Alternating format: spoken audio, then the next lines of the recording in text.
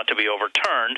Uh, they're assigning a judge in the Southern District Court in New York, um, and if we can move quickly, uh, hopefully we can get an injunction because this legislation is supposed to go into effect in March.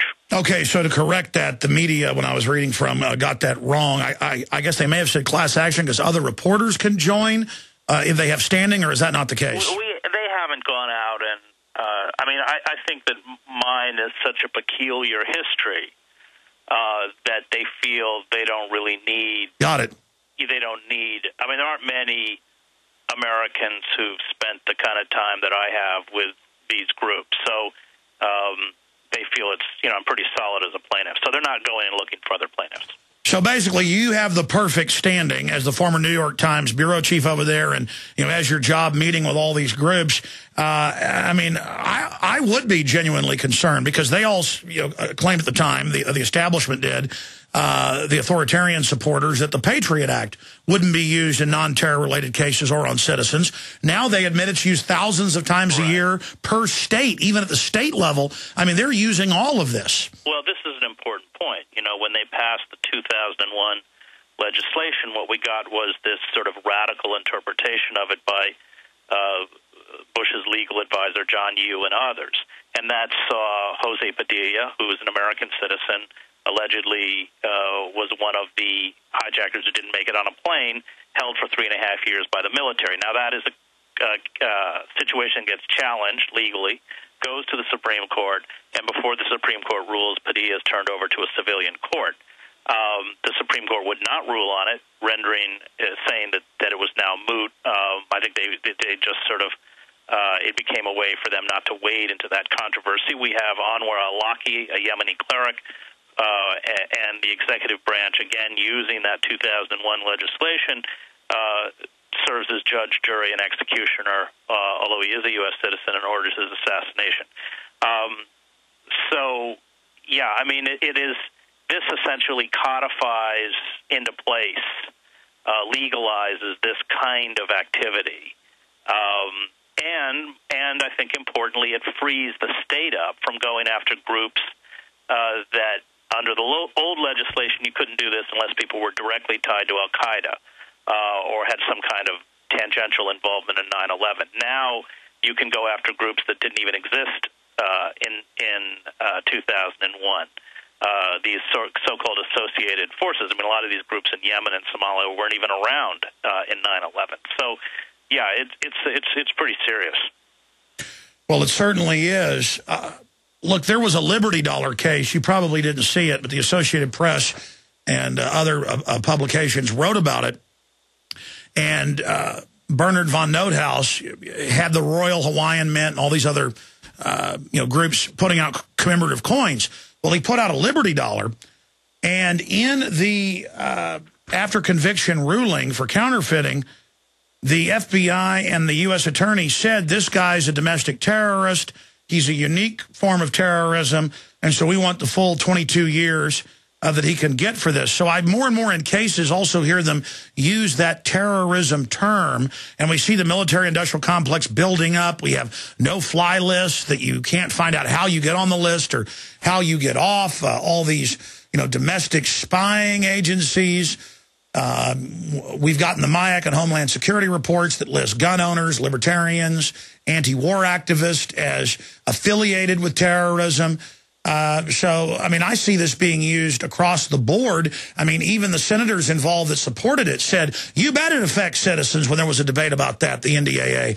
Uh, you know, we killed Awlaki. We'll kill citizens if we want. Uh, uh and, and then Lieberman said, we want to scare people. Uh, uh, I'm, I'm sure you've probably seen those creepy quotes. Yeah.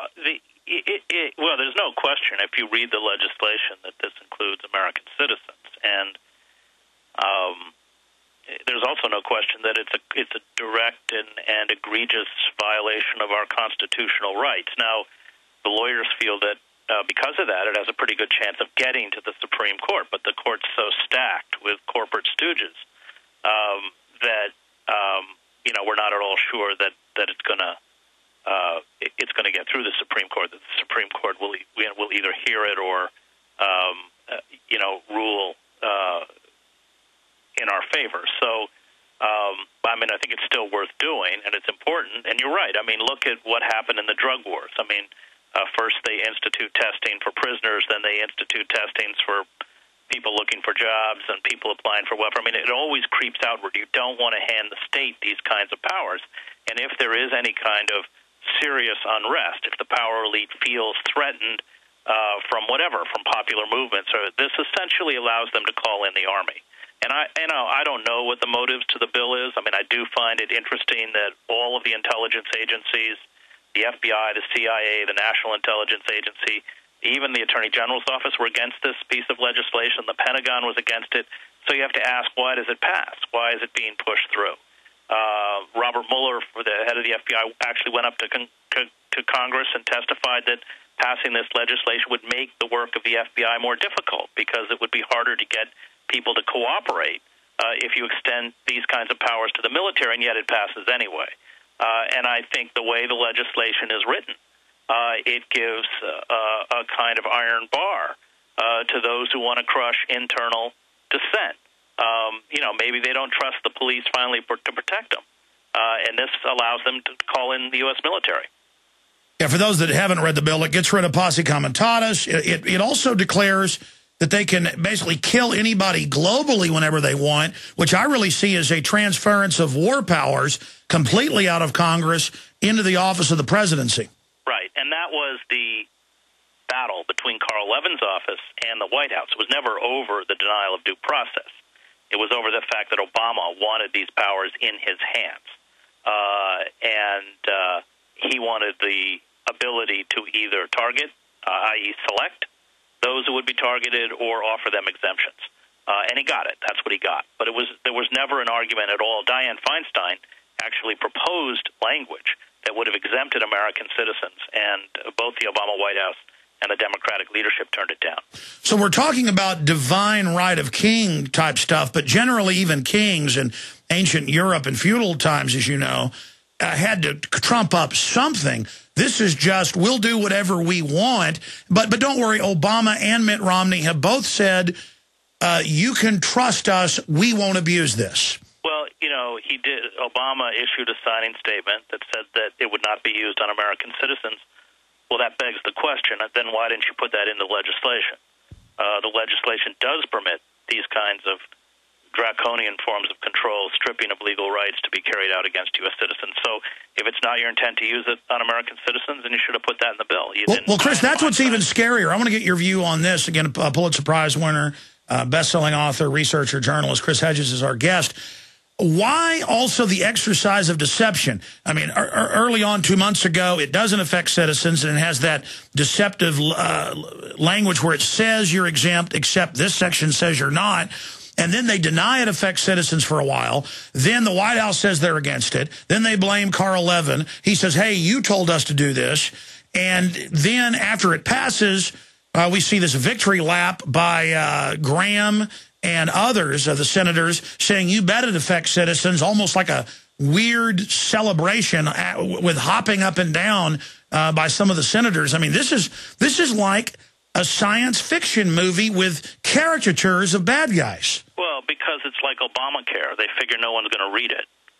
Uh, actually, this is quite readable. You can pull it up on the web. It's not that long. Obamacare is 2,000 pages of corporate malfeasance. Um, so uh, they're just assuming that people won't read the legislation, and and they spin it. They they, but you know, it's completely disingenuous, and that's a very kind word to use uh, about the Obama White House and their characterization of what this bill does. I mean, it's pretty clear. You don't have to be, you don't have to go to Harvard Law School to figure out figure out what they're saying. I want to talk more about your case and, and so many other issues and limited time we have with you, but.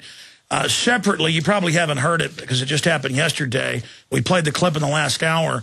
Rush Limbaugh has come out and said basically that Ron Paul, Rand Paul, who both complained about being detained and harassed by TSA and groped, uh, that they sound like Islamic terrorists and deserve, uh, uh, and I'm reading quotes here, you know, that the TSA needed to do this. And so now we're even starting to hear, well, Ron Paul doesn't want a war with Iran. He's with the terrorists. It doesn't matter if, as you mentioned, most of the experts in the CIA and the government say don't have a war. Uh, it doesn't matter if, if uh, the whole TSA thing is blatantly unconstitutional. We're now even hearing kind of the neocon mouthpieces more and more talk about public figures as being terrorists. Well, I hadn't heard that. I mean, there's a reason corporate sponsors pay him for, what does he earn, $4 million a year? Uh, I, I, think it's more like 15 million a year. Is it really? Yeah, he, he's got a $100 million contract, yeah. Is he really? Yeah. Well, I mean, you know, let, let's follow the money. I mean, who does he work for? Who pays him? And why does he say it? And what you know, why is he why is he getting that much money? The rest of us don't get that much money.